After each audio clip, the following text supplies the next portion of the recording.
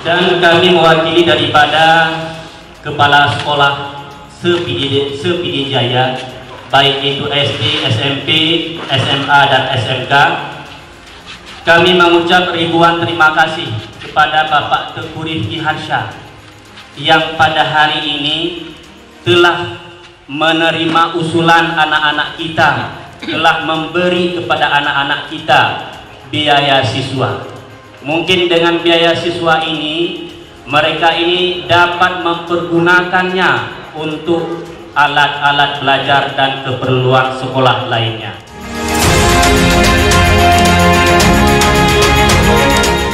Semoga urut yang ada di Mandu memudah langkah, memudah jalan, pemanda yang diinginkan baik dalam berjuang menambahkan kota beasiswa baik dari SD, SMP, SMA, SMK dan juga nantinya bisa kita usahakan untuk akademik yang akan tamatnya untuk melanjutkan pendidikan sarjana nantinya.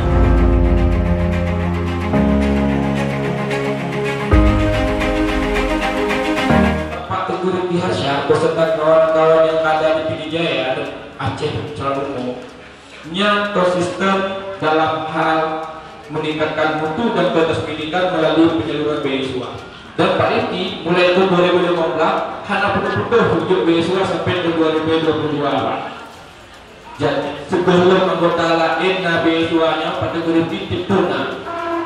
Dan tahun 2022 Pak Rifki menyalurkan 17.165 beasiswa termasuk dalamnya Pidijaya.